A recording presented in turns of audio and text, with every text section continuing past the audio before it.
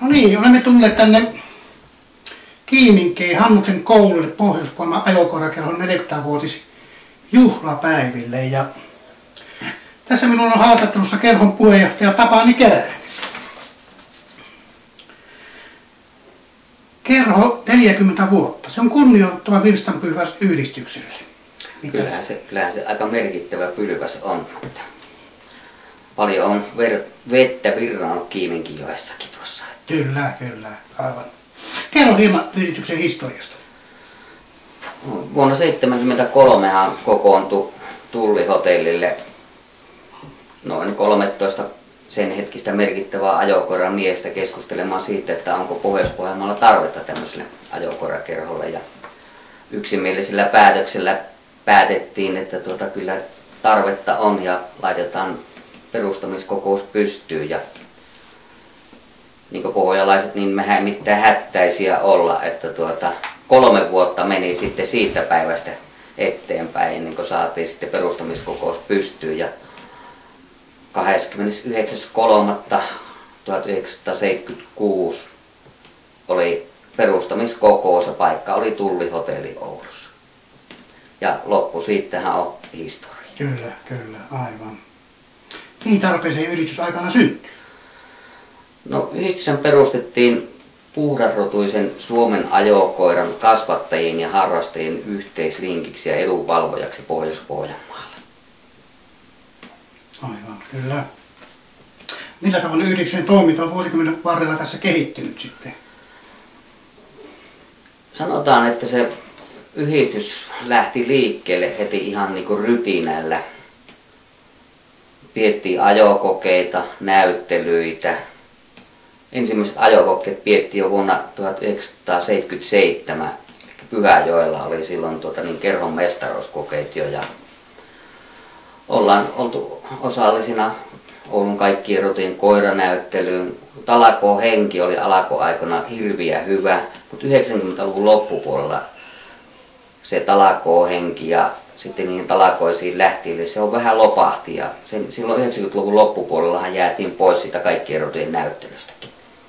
Mutta samat toiminnot on yhä edelleen. Pidetään kokkeita. Tänä vuonna on kilipa. Viime vuonna oli piirinmestaruuskokeet. Kahdet näyttelyt on tänä vuonna. Se ei ole oikeastaan niin muuttunut miksikään. Mikä on ollut ajokoiraryhmän toiminnassa keskeisintä? Mikä se keskeisintä on ollut se jäsenten edunvalvonta valtakunnallisesti. Sekä tietenkin sitten kaikki kokeiden ja näyttelyiden järjestelyt. Minkälainen jäsenmäärä 2016 yhdistyksessä? Jäseniä on tällä hetkellä niin noin 280 jäsentä. Miten ajokoirakerro santsaa uusien jäsenten hankkimiseen? Meillä ei varsinaista jäsenohjelmaa ole olemassa, mutta tuota, tuolta ajokokeiden ja näyttelyiden kautta haalitaan uusia nuoria jäseniä mukaan. Joo. Miten kerro näkyy tuolla kentällä, että miten sillä uudet ihmiset, ajokorahdet näkee kerran, mistä ne huomaa, että tämmöinen kerran pystyy Tähän kannattaa liittyä. Niin, no mehän ollaan joka toinen vuosi, ollaan muun muassa erämessulla mukana. Joo, kyllä. Meillä on omat kotisivut on olemassa. Ja tuota, tälläkin hetkellä on periaatteessa kahdetkin minun Kiliman kotisivut olemassa. Ja sitten oma, ihan omat kotisivut. Joo, SM Kiva järjestetään nyt tänä vuonna Raaessa ja järjestelystä vastaa Pohjois-Pohjanmaan ajokora kerran. Olet ottelutoimikunnan puheenjohtaja. Minkälainen urakka tämä on yhdistyksellä? Sanotaan, että tämä ei varsinaisesti yhdistystä rasita sillä lailla juuri mitenkään muuta kuin tuota, niin, taloudellisestihan se rasittaa kovastikin, mutta sanotaan, että jäsenistöllähän se ei oikeastaan näy juuri mitenkään, koska tuota, noin 4 prosenttia jäsenistöstä niin kuin osallistuu tämän kilvan järjestämiseen. Aivan niin. Eli se on hyvin pieni porukka, joka siinä on mukana. Joo, onko tässä muitakin seuraajia sitten? Ei ole, pelkästään Pohjois-Pohjanmaan ajokorakerron järjestä. Kyllä, vastuu on sillä puhtaasti. Vastuu on sillä puhtaasti. Tuo järjestelyt on kovasti mallillaan. No, päänäyttely oli yksi Kilivan tukinäyttelystä, oli Raahessa – elokuun 28. päivä on ryhmänäyttely, joka on Kilvan tukinäyttely. koiria on noin 500 koiraa otetaan sinne tulemaan. Että se hyvin pieni joukko on sitä järjestämässä sitä kilpaa. No ei tahtoo olla. Kerro hieman itsestäsi ja omasta ajokoiran harrastuksesta. Minusta ei koskaan pitänyt ajokoramista tullakaan, lienekkö tullut nytkään muuta kuin järjestötyöntekijä.